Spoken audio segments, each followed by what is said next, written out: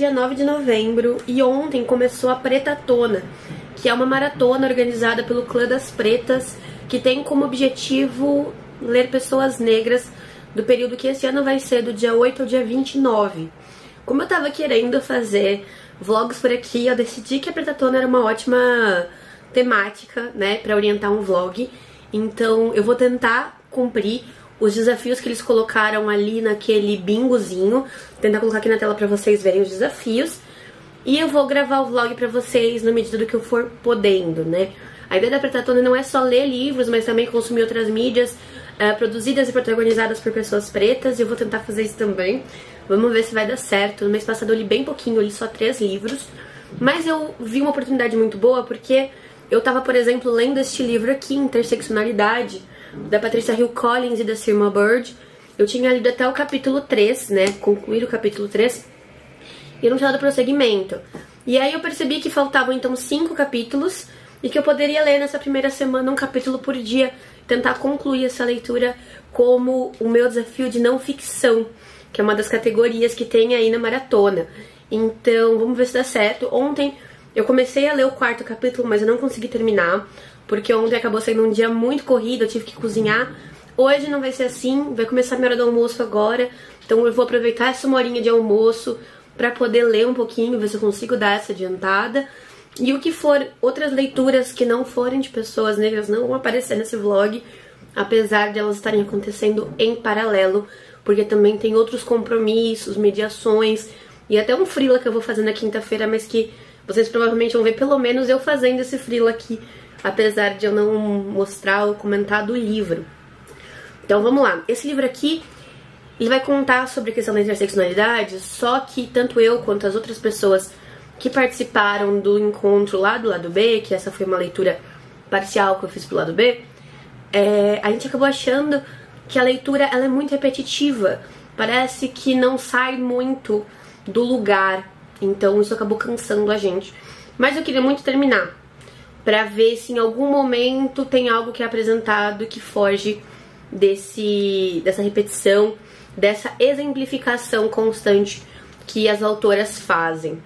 Ano passado eu não consegui participar da Pretatona, então eu fiquei feliz de conseguir ver a tempo esse ano. Ano passado eu tava participando da MLV como uma das booktubers ali convidadas e agora invertendo um pouquinho a ordem, podendo valorizar a organização de diversos produtores de conteúdo. É isso, pessoal. Volto para falar com vocês depois. Boa noite, pessoal. Como vocês estão? Hoje é dia 11, quinta-feira, e eu acabei de terminar Interseccionalidade da Sirma Bilge e da Patrícia Hill Collins. Eu vou agora, tava dando banho nas alfaces, eu vou tirar eles da água Vou colocar vocês aqui para conversar com vocês enquanto eu faço isso. Acho que já é seguro. Hoje cedo, quando eu voltei da feira, que eu fui tirar as folhas da alface, tava falando com a Tati, aí eu vi uma larva e dei um grito. Eu sempre me assusto, morro de medo, mas eu tô trabalhando isso. É...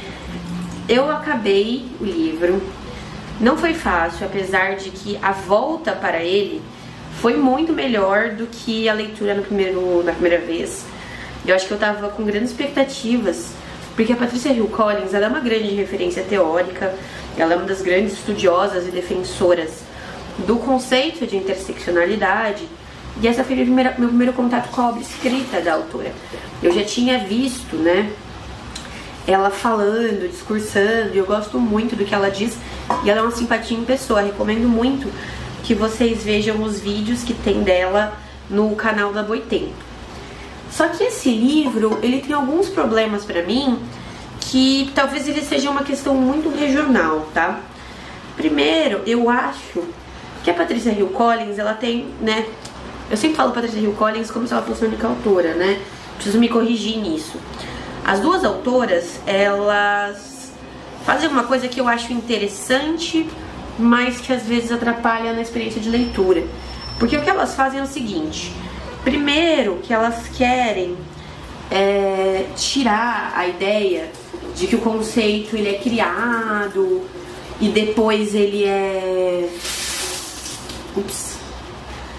Elas querem tirar a ideia de que o conceito ele é criado e depois, tipo, incorporado, como se fosse uma coisa tão organizada assim, sabe? E aí o que acontece é que eu acho que fica um pouco confuso para algumas pessoas.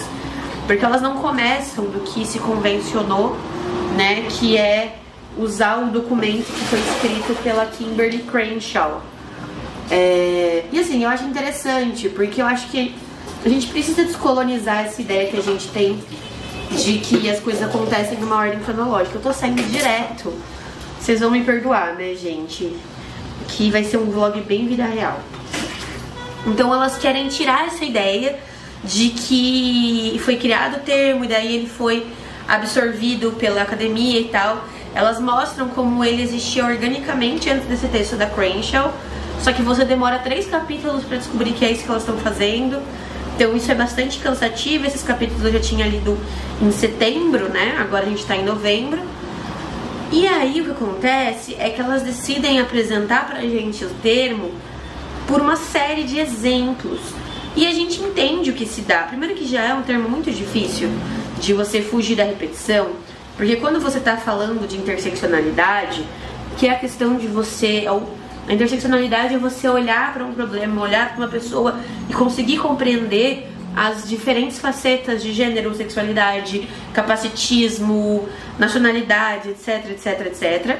E é por causa desses muitos etc que eu já acho muito difícil falar do tema sem soar minimamente repetitivo, que uh, é, é repetitivo por causa disso.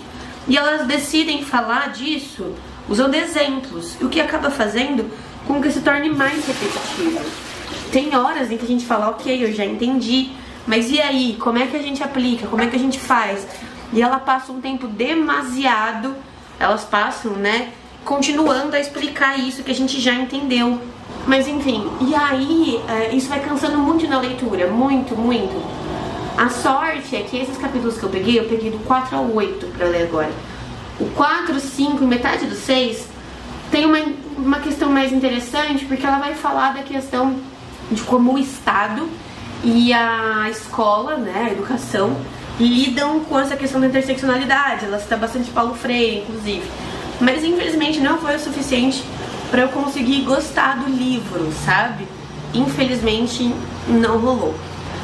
É, nesse final de hoje vai ter um evento, né, com uma autora nacional, com o Medial o encontro com a Monique Malcher, né, que tá inclusive finalista do Jabuti com o seu Flor de Gume, mas a gente vai falar sobre outra coisa.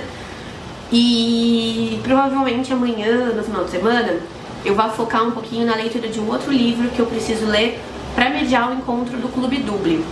O que eu pretendo fazer é duas coisas, tá? Os próximos dois livros que eu quero ler para Preta Tona são um de autoras de poetisas negras, então eu vou colocar lá no desafio que você pode criar esse livro de poesia, vai ser minha categoria poesia. Então, se eu for lendo no final de semana em paralelo com esse outro livro, eu posso fazer aí umas entradas com vocês, lendo algumas poesias. Eu acho ótimo esse tipo de coletânea, porque permite que a gente conheça diversos autores e autoras novas. Nesse caso, se não me engano, são só mulheres negras, são mais de 50, se não me engano. É uma publicação da Jarid Arraes pela Ferina. Então eu tô bastante curiosa para conhecer todas essas autoras. Algumas que eu já conheço eu gosto muito. E depois eu vou ler o Contornos do Dia que Vem Vindo, da Leonora Miano, ela é uma autora camaronesa. Então esse livro vai entrar no desafio África. Ele é um livro que foi também ganhador de prêmios, se eu não me engano. Eu preciso confirmar se a autora é ganhadora de prêmios ou se esse livro ganhou prêmios. Porque eu acho que tem uma categoria assim no bingo também. Mas aí, na entrada que eu for começar a ler ele, eu falo pra vocês. E ele é um livro que foi enviado no último mês pela pacote de textos.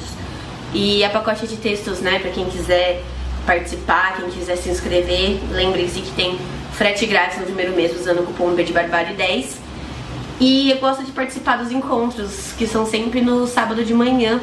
Eu não sei se esse vlog vai chegar até o encontro da pacote de textos, mas eu espero que sim. Acho que ia ser legal poder registrar também, comentar com vocês quais foram as impressões, o que, que mudou depois da conversa com o pessoal. Mas tá aí então minhas duas próximas leituras. A Leonora Miano é uma autora que eu já queria bastante ler, com outro livro dela que eu me esqueci o nome agora, mas eu trago todas as informações bonitinhas. Agora vou terminar de lavar esse alface aqui.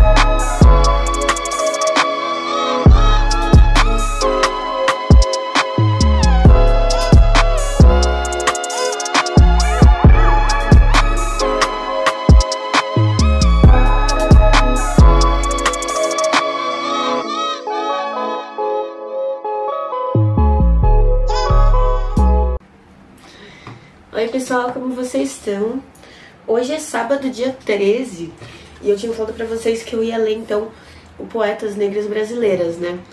Eu já tô agora na página 96, quase terminando, devo terminar hoje mesmo. E essa coletânea, ela é uma coletânea então que foi organizada pela Jarid Arraes, pra editora de cultura, né, com o selo Ferina, que é da Jarid. E eu achei bem interessante ela comentando no começo do livro, no prefácio, que a ideia inicial era ser uma coletânea de contos e poemas, mas que ela se surpreendeu porque ela recebeu muitas poesias e só dois contos. E eu acho que isso tem muita ligação com a cultura mesmo negra no Brasil, porque quando a gente para pra pensar a vinda né, dos povos africanos forçada, é, muitos povos não, ou não tinham a língua escrita, né, como o Somali, mas outros povos, por mais que tivessem a língua escrita, eles não podiam escrever. Então essa coisa da língua oral, ela foi mantida por mais tempo, né? No, nos povos negros, nos povos de África. E a gente tem hoje em dia, que eu acho que é uma, uma relação direta, uma cultura de rap, por exemplo, de funk muito grande, que eu acho que tem muita ligação com essa questão das rimas, dos improvisos. Então faz muito sentido na minha cabeça que essas mulheres negras que foram requisitadas a mostrar os seus escritos tenham majoritariamente levado poesias. Mas tem uma coisa aqui que eu não sei exatamente como foi o processo né, de organização. Porque eu acho que tudo bem, quando a gente tem uma coletânea, é normal que os poemas sejam muito diferentes. Mas eu fiquei curiosa para saber se teve um trabalho de cuidar dos textos, né? Então, de retrabalhar eles depois que eles chegaram porque os poemas. Alguns poemas me parecem com ótimas ideias, mas execuções que poderiam ser melhoradas. E eu, inclusive, tive na mesa quinta-feira, né, com a, com a Monique Malcher, e ela estava comentando sobre a oficina escrita, de pensar o poema, pensar o texto como algo a ser trabalhado mesmo. Não é um dom, não é algo que sai pronto e que a gente pode ter esse trabalho em cima, né, de olaria praticamente. Então eu fiquei me perguntando sobre isso. Infelizmente não achei essa informação. Dei uma fuçada, mas nos vídeos, posts que eu achei, não fala nada sobre esse, essa parte do processo. Mas eu queria ler pra vocês. Um, dois, três, quatro, cinco, seis, sete. Tem sete poemas aqui que eu marquei. Eu queria ler alguns pra vocês. Acho que seria legal. Eu acho sempre que essas coletâneas, no pior dos casos, elas servem pra gente conseguir é, um ou dois nomes que seja mas conseguia atrás dessas poetas que a gente não conhecia, sabe? E aqui eu mesma conheci algumas poetas. Eu vou começar pela Conceição Evaristo, que já não, não é alguém um pouco famosa, já tinha lido poemas dela, mas é que abre a coletânea e eu acho importante. Vozes mulheres, A voz de minha bisavó ecoou criança nos porões do navio. Ecoou o lamento de uma infância perdida. A voz de minha avó ecoou obediência aos brancos donos de tudo. A voz de minha mãe ecoou baixinho revolta. No fundo das cozinhas alheias, debaixo das trouxas, roupagens sujas dos brancos pelo caminho empoeirado rumo à favela. A minha voz ainda ecoa versos perplexos, com rimas de sangue e fome. A voz de minha filha recolhe em si a fala e o ato, o ontem, o hoje, o agora. Na voz de minha filha se fará ouvir a ressonância, o eco da vida e liberdade. Me arrepia até ler esse poema da, da Conceição Evaristo. Tem também, e, ah, e esse, esse livro aqui, ele é organizado por ordem alfabética. Então eu vi que, por exemplo, além de algumas poetas conhecidas como a Lubi Prates, que eu já li, o poema dela tá aqui, tem a Pétala também, do Afrofuturas, lá do Instagram, tem a Lorena, do Passo das Entrelinhas, inclusive, quando eu fui colocar no Scooby que eu tava lendo, eu vi um vídeo dela, vi ela falando que tem um poema aqui, vi ela falando que ia ler também pra Preta Tona. Então, é bem legal, né, saber que tem esse pessoal jovem que tá na internet também participando, ocupando esses espaços também, estando nessas plataformas aqui. E aí a primeira é da Aline Cardoso, então, que é de uma pessoa Paraíba, e chama Hacking. Um corvo cantará no dia do nosso casamento. Uniremos carne e vida ao grito prometeico de quem diz estar para sempre atado. Fígado exposto, feridas abertas, vertendo o rubro amor de quem se dá cru à presa potente também, né? Essa ideia de se dar crua presa, como casamento, como esse, esse ato. Esse aqui também me arrepiou muito, da Andresa Xavier, de Belo Horizonte. O amor não põe mesa. Não escrevo sobre amor, só descrevo o que serve à mesa no banquete da vida. O amor não chega até mim. Eu sempre estou sentada na ponta. A vida passa por mim e serve quem já está com a barriga cheia. Já tem sempre alguém se lambuzando, passando a cara e regurgitando quando a vida me serve. Vem faltando. Ou já tem alguém comendo, ou eu não gosto tanto. Para mim sempre chega picado, faltando, implorando, para que dessa vez o prato venha correto e que não tenha ninguém saboreando. Eu não quero o prato do chefe. Desejo que minha boca pede tanto. Amor quente, pelando, completo, com sobremesa, de preferência com calda de afeto, sem muita beleza. Pratos enfeitados demais são sempre disputados, e eu jamais ganhei nenhum campeonato. No jogo do amor, eu sou sempre desclassificada. Ou eu chego adiantada e tenho que esperar, ou me perco no tempo e chego atrasada. Parece um fardo. De outras encarnações. Tá pesado. É tonelada. É tipo carregar a cruz em que Jesus foi pregado sem entender muito. Eu não digo nada. Caminho sem fé, de pé, sem dar ré, não olho para a refeição de quem está do lado. Não me contento com rastros, pedaços, estilhaços. A vida passou e me ofereceu outro prato. Ao me servir, deixou cair tudo em meus braços. Saio de barriga vazia, insatisfeita com a vida e com a conta que me foi cobrada. Agora vou eu de novo. Esquecer esse amor covarde que me saliva a boca, mas nunca enche meu papo. Que saco. Forte, muito, muito forte. E eu acho que esse poema, por exemplo, ele mostra um pouco dessa cadência de rima de rap, assim, sabe? Essa ritmação, essas rimas simples, mas que vem, né, pra formar esse ritmo. Esse aqui, enquanto eu tava esperando a câmera é, carregar, porque eu vou gravar daqui a pouquinho, eu li no Instagram. Restituição, da Cristiane Sobral, de Brasília. Meu gozo é um revide, um soco, um grito, brado de vitória meu gozo é um instante de glória pelas pretas que não sorriram, pelas negras que não sentiram. Meu gozo é fogo de artifício para mulheres que nunca viram além do ofício, para as que escolheram existir em vez de parir. Meu gozo é privilégio de uma cor eternizada na amargura, ato revolucionário de amor em tempos de cura. Muito, muito bonito. Eu separei também um da Débora de Pantaleão, de João Pessoa, que é bem curtinho, chama Lesbiandades, e diz: Acolhidos os seios enrijecem em línguas farpas, meia vulva, tua vulva, echarpe. É legal que tem alguns contos que falam da negritude, tem alguns contos que falam de lesbiandade, tem contos que vão falar de amor. Então são contos múltiplos, eles não são voltados necessariamente para essa questão da identidade das poetas, né? E eu acho que isso enriquece muito o livro. Aí para terminar, eu vou ler para vocês. Ah, só tem mais dois, eu vou ler os dois, tá? Eu vou deixar esse aqui da Lubi Pratos por último, que eu gostei muito, então eu vou ler o da Marília Casaro de São Paulo, que é Um Dia no Colo do Mar. O tempo que fia o fio dos teus cabelos no manto azul moreno quer vê-lo dourar. O quente que vem do céu alinhavava a costura mais bonita dessa cauda alva. Seus sonhos têm fantasias encantatórias, tem quebrar de quebrante, tem prata de luar espumante, espuma brilha grinalda, tem dia, tem noite, tem sol, tem Bahia, tem poesia de escrita bonita a mendigar. Amor, carinho, família, Janaína, minha mãe, minha noiva, minha filha. Achei muito bonita essa homenagem a Iemanjá. Me arrepiou toda quando eu li. E assim, né? Tô falando que me arrepiou toda porque eu tô lendo os meus favoritos. Então, claro que eles mexeram comigo, né? E aí, para fechar da Lubi Prats, que por enquanto, assim, acho que é o meu favorito aqui. É... Condição imigrante. Desde que cheguei, um cão me segue, e mesmo que haja quilômetros, mesmo que haja obstáculos entre nós, sinto seu hálito quente no meu pescoço. Desde que cheguei, um cão me segue. Não me deixa frequentar os lugares badalados, não me deixa usar um dialeto diferente do que há aqui. Guardei minhas gírias no fundo da mala. Ele rosna.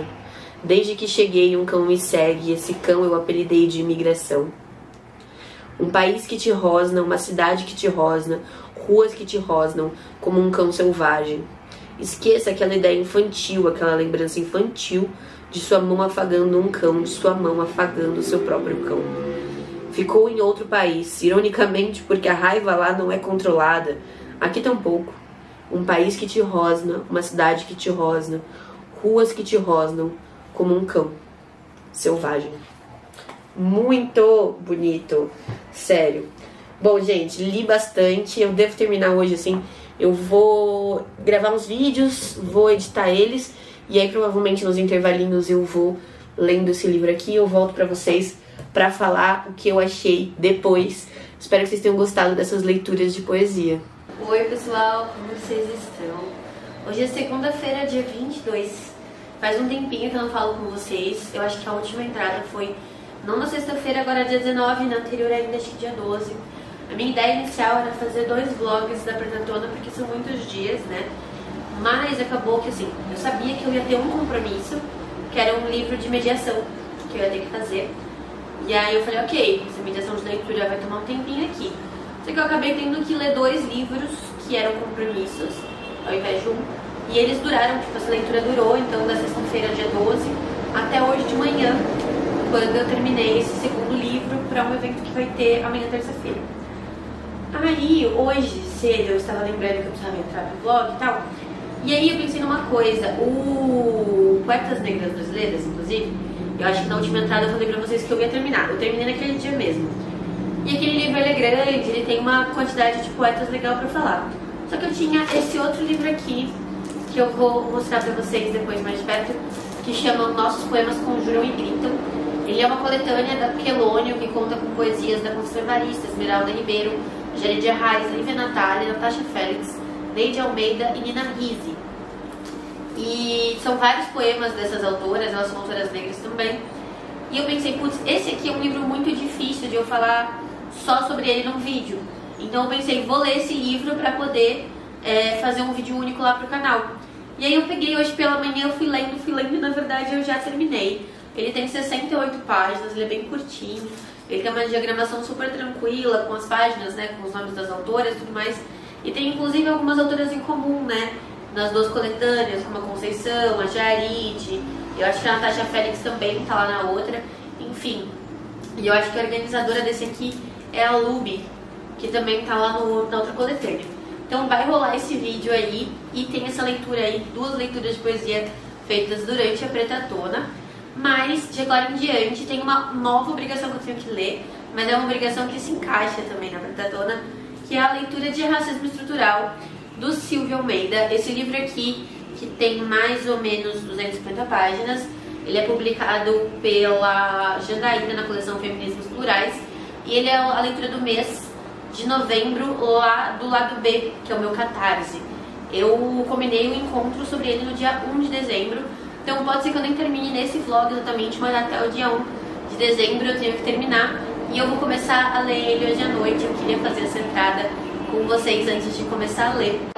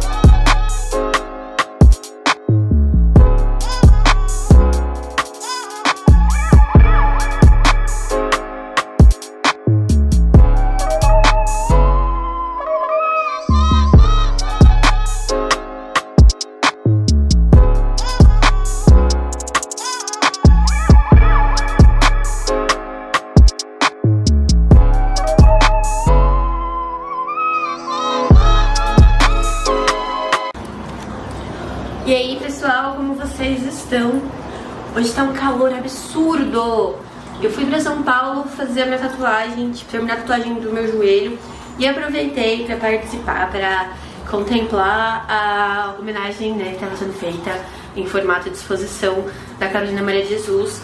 Se tiver dado tudo certo com as gravações que eu fiz lá, elas vão estar aparecendo aqui nos stories anteriores.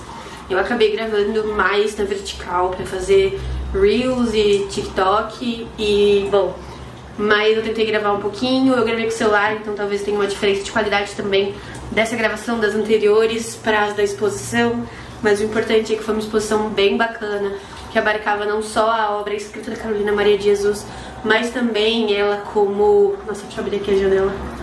Tá difícil, se tiver um barulho, gente, me perdoem. Se tiver difícil de ouvir, eu legendo qualquer coisa essa parte mas é, ela como né, participante ali da escola de samba, ela na, quesito musical, né, ela musicou várias dos seus poemas, suas poesias, enfim, tava muito bonito.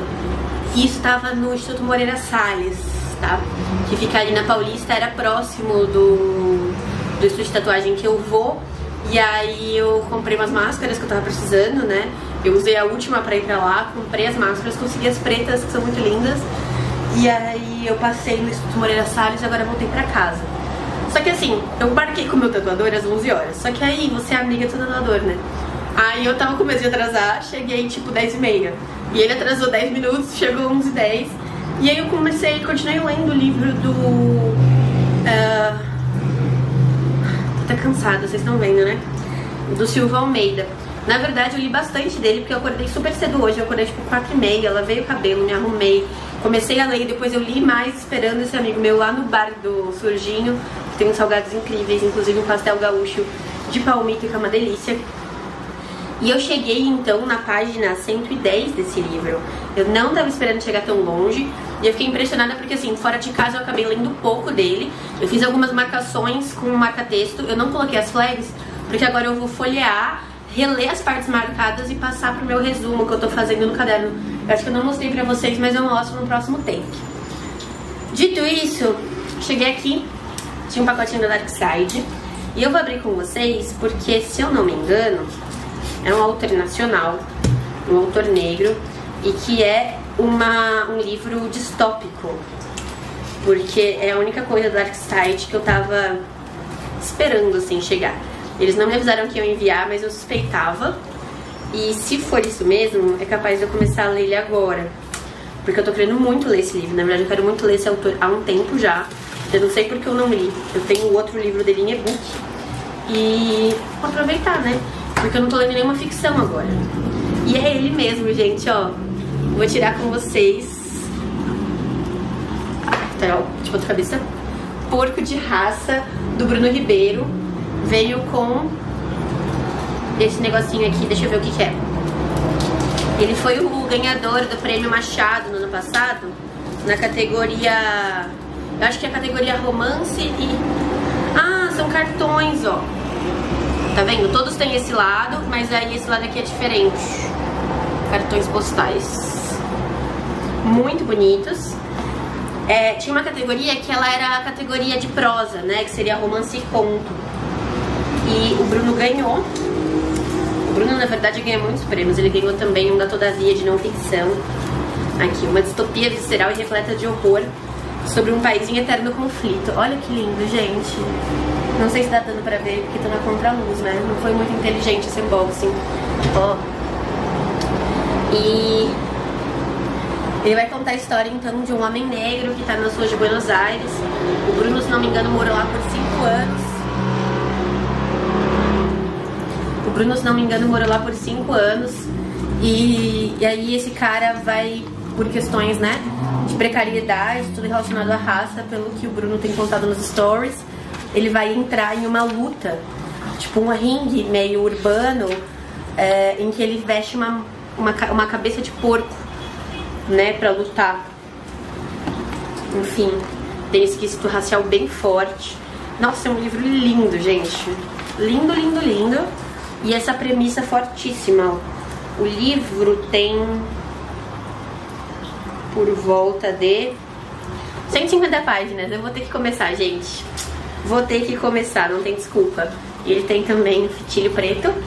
Então tá aqui essa belezinha do Bruno. Talvez eu comece agora mesmo.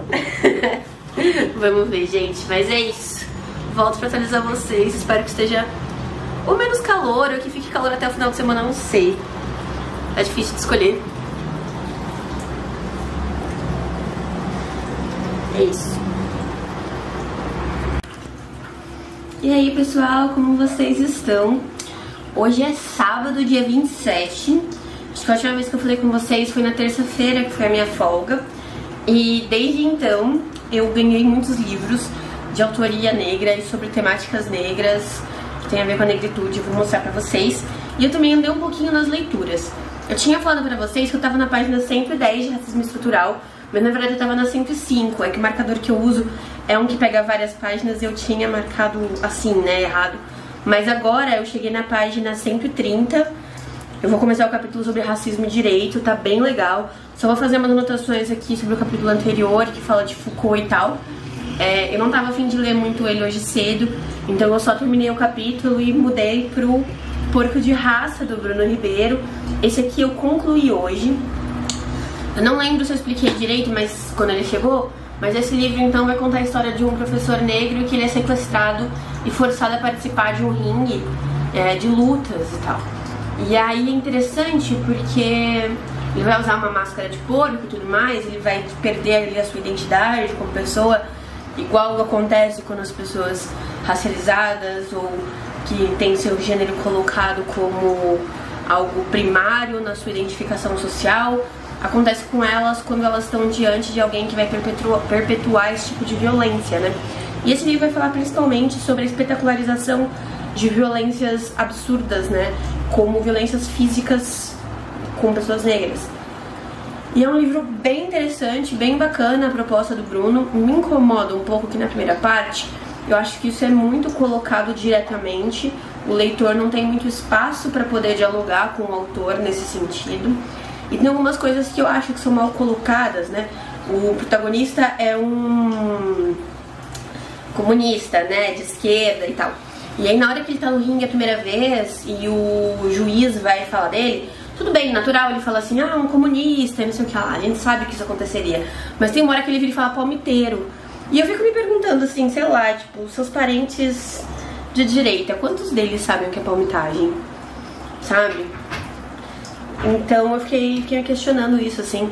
E tudo bem, pode ser algo de tipo, ah, isso foi tirado, né? Tem uma hora que eles recolhem as memórias dele, uma parada que é meio. Fica entre uma lobotomia e Matrix, assim, que colocam um prego neles e eles recolhem informações e tal. Tudo bem, pode ser retirado dessa informação, mas não sei, achei meio aleatório. Talvez uh, um trabalho melhor de entender essa bolha oposta. Mas o livro em si é bem bacana, eu vou tentar privilegiar a resenha dele aqui no canal, já que é um lançamento, um lançamento nacional. Dos livros que eu recebi, eu recebi da editora Jandaíra, então os dois livros que faltavam para completar a minha coleção Feminismos Plurais, que é essa coleção que é coordenada pela Jamila Ribeiro e que se pretende uh, como livros iniciais dessas temáticas, né? Para apresentar ao leitor esse, essas discussões. O livro que eu tô lendo do Silvio Almeida é dessa coleção e eu ganhei meio que, entre aspas, né, o parzinho dele, que é o Racismo Recreativo, que é escrito pelo Adilson Moreira Esse aqui eu tô bem curiosa pra, pra ler, porque eu fico me perguntando como é que ele vai elaborar essa questão da presença do racismo sem essa parte estrutural, que é a parte que eu tô muito mais acostumada a ver isso ser debatido teoricamente. Então essa curiosidade me vem. Depois veio o Intolerância Religiosa, do Sidney Nogueira. Esse livro aqui, inclusive, é bem curtinho. Ele foi finalista do Jabuti, que aconteceu essa semana, inclusive. Fiquei torcendo por ele, mas infelizmente ele não levou. Porém, eu tô bastante mais curiosa por esse segundo livro, porque eu sei que existe intolerância religiosa, compreendo algumas intersecções dela com o racismo, porque a gente sabe que não é o cristianismo, não são as religiões brancas que sofrem é, preconceito na nossa sociedade, mas eu quero ver como é que ele vai elaborar, porque apesar de ser um livro curto, é um livro.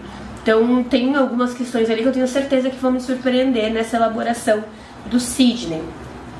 Chegou aqui também Algoritmos da Opressão, como o Google fomenta e lucra com o racismo. Eu não sei se eu comentei, o livro anterior, os livros anteriores são da editora Jandaíra, e esse aqui é da Rua do Sabão, é traduzido do inglês pelo Felipe Damorim, e ele é da Safia Umoja Noble.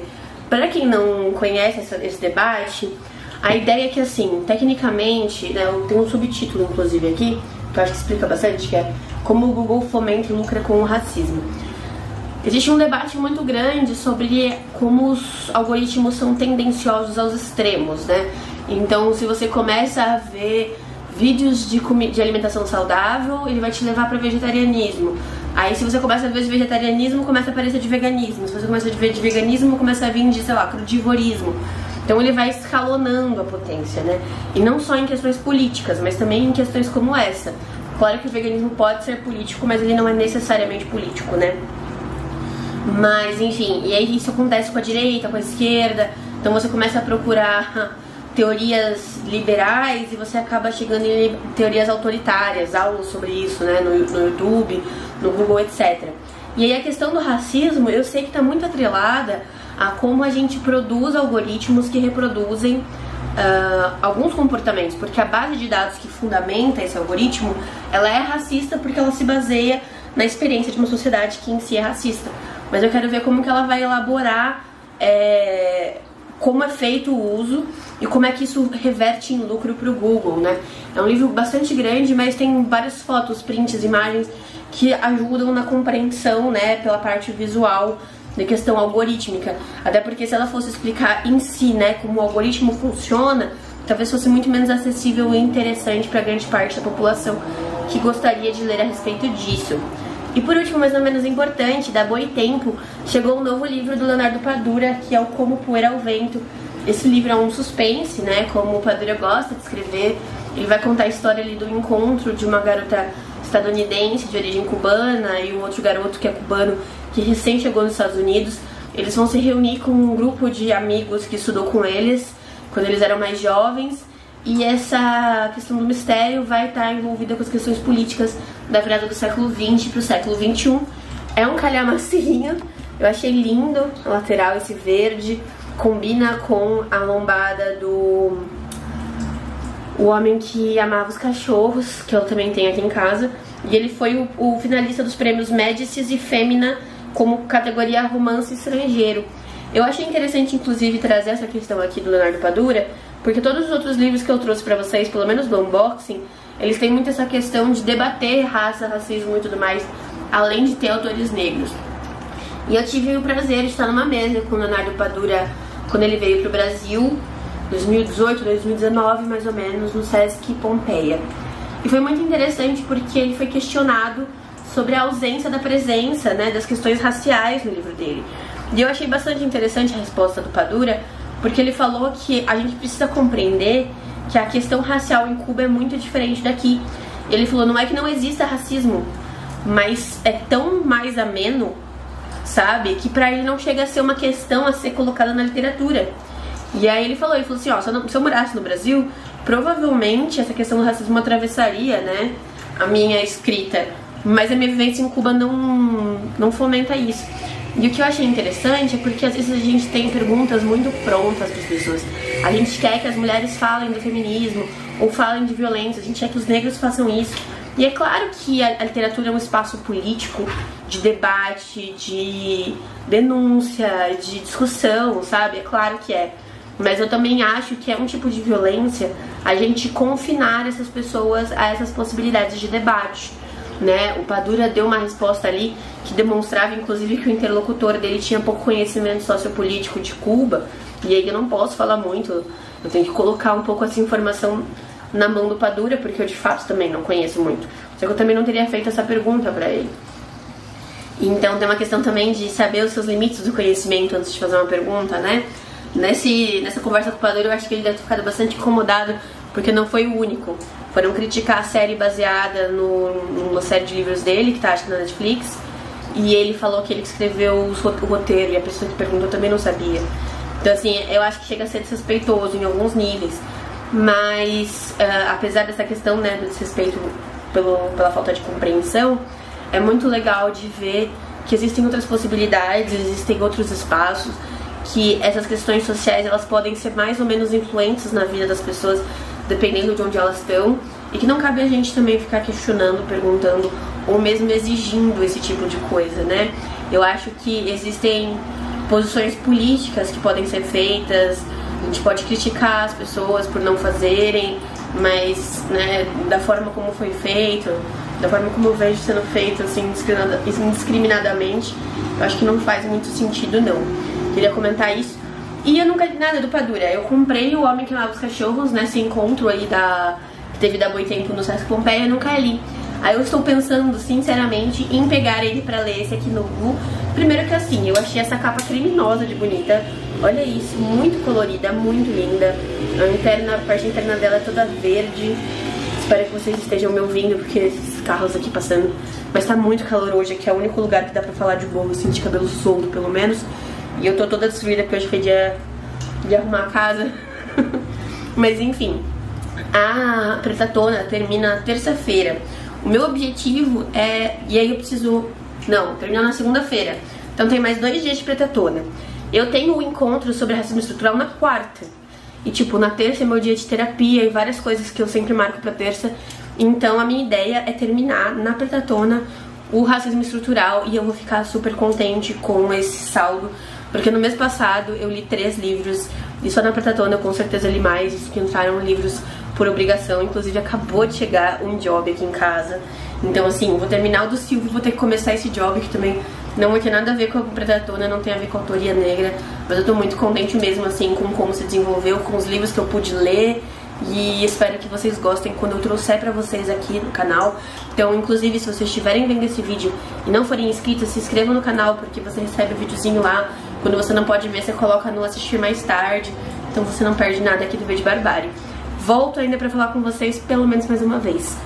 Beijo, gente. Oi, pessoal, como vocês estão? Eu tô aqui com as coisinhas pra gravar. Olha aí, a gambiarra, enquanto eu não compro um tripé. Hoje já é dia 4 de dezembro e eu fiquei com a garganta inflamada desses últimos dias, né, essa virada de mês. Eu acabei não vindo aqui concluir com vocês a minha, o nosso vlog, né, na verdade, o nosso vlog do, da Pretatona. Então eu fiz aqui um levantamento de páginas lidas e desafios. E aí eu quero mostrar pra vocês pra fechar então esse vídeo. O primeiro que eu li então foi o Interseccionalidade da Patrícia Hill Collins. E os capítulos que eu li correspondem a 146 páginas. Depois eu consegui concluir, né, no final da maratona, não tinha vindo falar pra vocês, o Racismo Estrutural do Silvio Almeida. Esse livro tem 256 páginas e assim, é um livro fantástico, né? É, é um livro que ele é introdutório, ele é bastante didático, mas ele também é bastante complexo na abordagem que ele traz sobre o quão intrínseco ao sistema capitalista é a questão de raça e principalmente como ela é uma estrutura, sabe, do sistema em que a gente vive. Eu quero reler muito o último capítulo que é sobre racismo e economia, por não ser uma área que eu manjo muito, eu acho que eu peguei o básico, uma segunda leitura conseguiria me dar uma profundidade maior, mas enfim, livraço recomendo demais. Aí o tema livre virou tema poesia e eu li dois livros. O primeiro deles, na verdade, o segundo, foi o Nossos Poemas Conjuram e Gritam, que é uma coletânea de poesias. Essa aqui é bem curtinha, tem só 68 páginas. Eu gostei dela, apesar de que eu esperava gostar um pouco mais, já serem autoras que eu gostava, eu achei que, sei lá, eu ia querer marcar tudo, sabe? Acabou não sendo exatamente isso. Também preciso pesquisar, porque eu vi no site, inclusive, se alguém souber, me avisa. Eu vi no, no site, não, acho que no, no começo da edição, diz que a proposta é ser uma publicação anual. Então ter os meus poemas com João e Gritam, volume 2, 3, talvez. E eu não achei depois outros volumes, então eu acho que acabou não tendo depois de 2019. Mas fiquei curiosas, né, para saber. E o outro de poesia foi o Poetas Negras Brasileiras, organizado pela Jarid Arraes. Esse aqui é um pouco maior, tem 126 páginas, tem muito mais poetas, mas essa diferença é menor entre, as, entre o número de páginas é porque esse segundo livro tem mais poetas de vários lugares do Brasil, só que um poema só, enquanto o outro tem mais de um poema, tem três ou quatro de cada autora, então acaba preenchendo um pouquinho mais de páginas aí. E por último, mas não menos importante, eu li o Porco de Raça, que tem 180 páginas, e ele tá em duas categorias, que é a categoria livro nacional e livro premiado, porque o Bruno publicou inclusive esse livro por ter ganhado o prêmio Machado da Dark Side. Contabilizando aí, a gente leu 776 páginas de autoria negra durante essa maratona, essa pretatona. Eu fiquei bastante feliz com esse resultado, porque todo ano, quando eu faço a contabilidade de leituras, eu percebo que eu leio muito menos autores negros, autoras negras do que brancos, e é uma coisa que eu quero muito uh, mudar. Eu tenho bastante autores negros, na verdade, na, na minha estante, mas é natural que a gente acabe se esquecendo disso quando não é uma vivência nossa. Mas a gente pode ir contra essa natureza e, e colocando esses livros, né? Colocando desafios, nos colocando objetivos e mudando isso até que se naturalize uma nova situação. Foi o que aconteceu, por exemplo, com a leitura de mulheres, né? Mesmo sendo mulher, por causa dos padrões colocados pelo mercado editorial e pela, pelo sistema que a gente vive, eu sempre li mais homens. E aí, quando eu percebi isso, eu comecei a fazer a mesma coisa, o mesmo processo. Aí eu digo, mais natural para mim, porque eu sou mulher e consigo me identificar. Mas isso não muda muita coisa, isso não é desculpa. Então, com certeza, a Protatona deu um up aí nas minhas leituras de autores e autoras negras aqui nesse ano. Eu também tinha lido um pouco antes o Quem é Negro e Negra no Brasil, da Najara Lima Costa, que eu adorei. E agora, depois de ter terminado a maratona, cadê? Ah, tá aqui embaixo. Eu tô lendo também o Necropolítica, do Aquilim Mbembe, que é um livro importantíssimo também, bastante complexo esse. Tô penando um pouquinho para entender umas coisas, mas eu fiquei bastante contente de conseguir participar dessa maratona, de estar tá conseguindo concluir esse vlog e ter tido esse sucesso aí de leituras, mesmo com os imprevistos que vieram no caminho. É isso, pessoal. Espero que vocês tenham gostado desse vídeo. Se gostaram, se inscrevam no canal clicando na bolinha com o meu rosto, que vai aparecer em algum lugar dessa tela. E também aproveitem para ver as resenhas de livros que eu vou deixar aqui na tela. Eu vou deixar só também livros escritos por autores e autoras negras, tá bom? Um beijo e até a próxima. Tchau!